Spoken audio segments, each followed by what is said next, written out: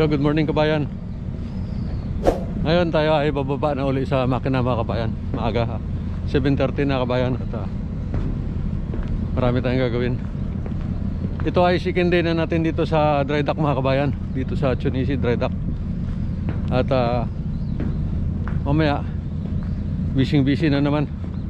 At ito yung views palibot mga kabayan. Yan. Yan. Tahimik pa dahil maaga pa kabayan. Kaya wala pang mga worker.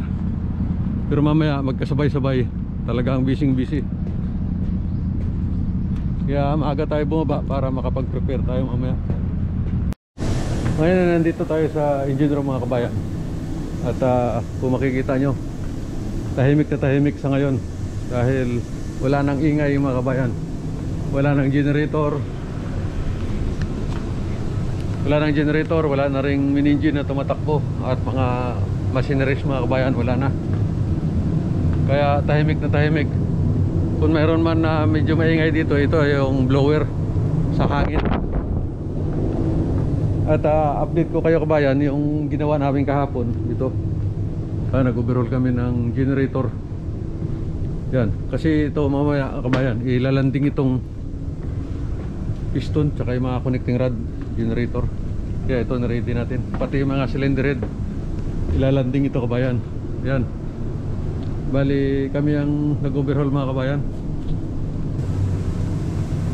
Yung turbo natin kabayan kahapon inumpisa na. Turbo charger. At turbo charger number 2 ito. Inumpisa na rin na baklasin. Yan Yan, inumpisa na rin na baklasin at uh, overhaulin ito mamaya. May mga short technician ang tumira nito kabaya. Ito. Yan. Yan yung mga turbine blade kabayan. At uh, itong mga cylinder head ng generator mamaya ilalanding ito para tingnan doon sa sure ang condition nito. At ito yung central cooler ilalanding dito. Kaya tinanggal na nila. At ito yung sa freshwater generator. Tayo na nagkalas yan mga kabayan. Bababa din yan. Ngayon pupunta tayo doon sa ah, pinaka lower deck. Para makita nyo yung kasi mag-install kayo ng kabayan dito ng ano WMS ito yung air cooler. Sinimula na rin. Tanggalin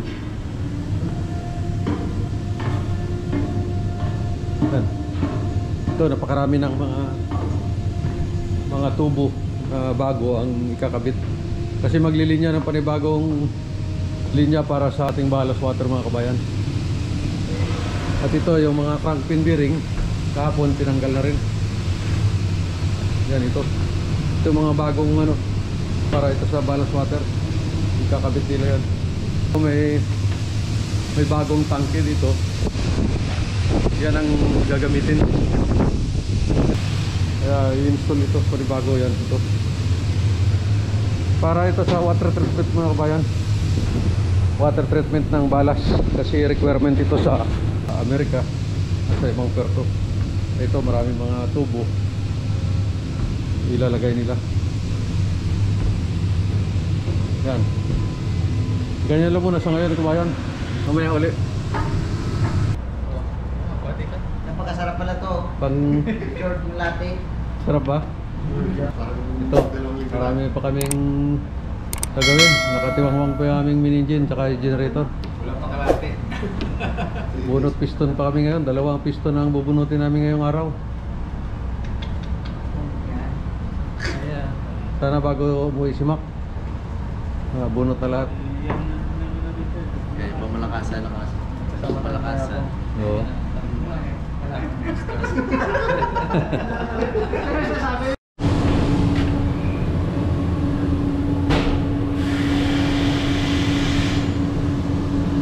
Mac. Ayos lang sir. Ayos lang. Ah, lang.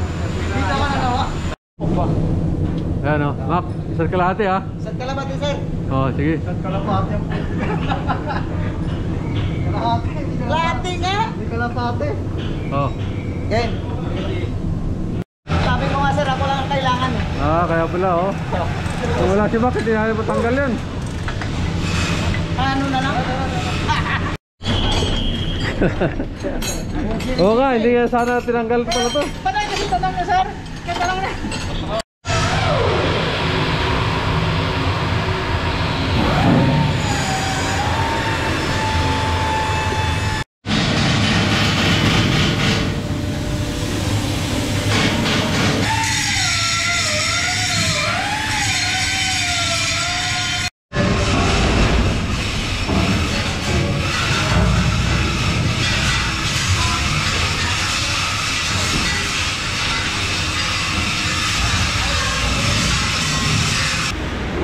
Tayo sa workshop.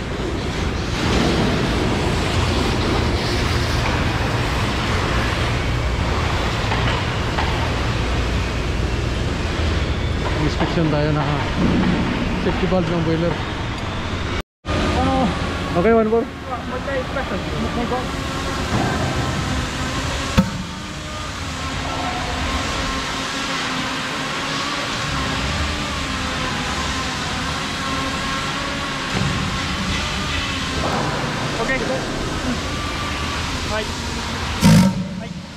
here. Yeah, bird. Now one more. Like,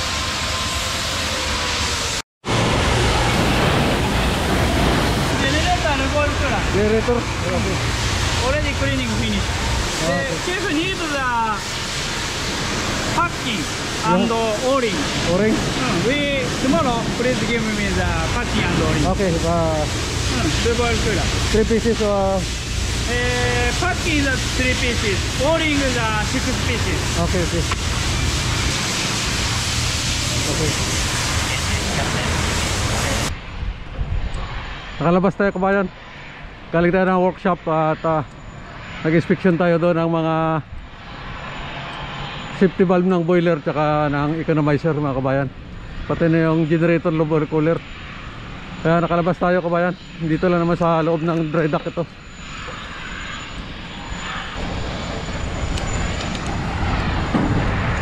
Madumi tayo kabayan at ah, may trabaho kasi kanina